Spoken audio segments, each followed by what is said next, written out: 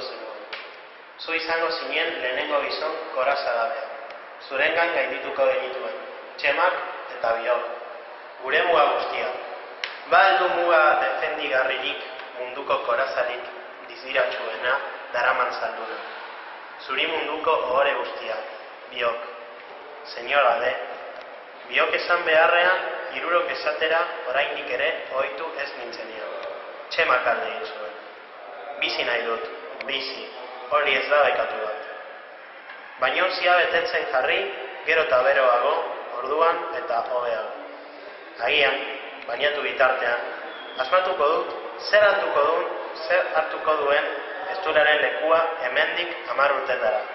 Hemendik, hiru mila gauetara. Ai, antxon, bazenekin.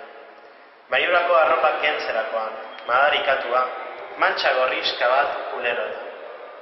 Bi egun noizean behin eskua hankartetik pasatzen. Uste kabean etorez dadi, ezer zikindu baino lehen konturatzen banaiz, nire gorputza menderatzen dudala iruditzen zait.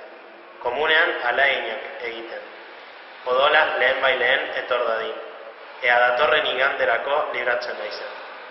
Ez dago munduan, gauza gorrotagarria horik, hilekoaren hasieran tokatzen den igande bat baino. Txemarik gabeko igande batean, gainetik, hile, hilekoa. Depresioa, baina ez distantzia. Zu, antxon pirulero, ez zara, koraza gora bera, eskola honetatik pasako.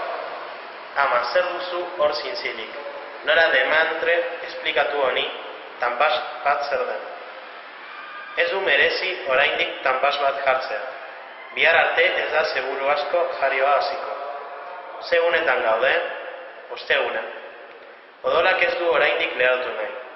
Uretara zartzerakoan, laino gorrizka bat ateratzen da hankartetik eta uraren azalera heldu baino lehen desegin da.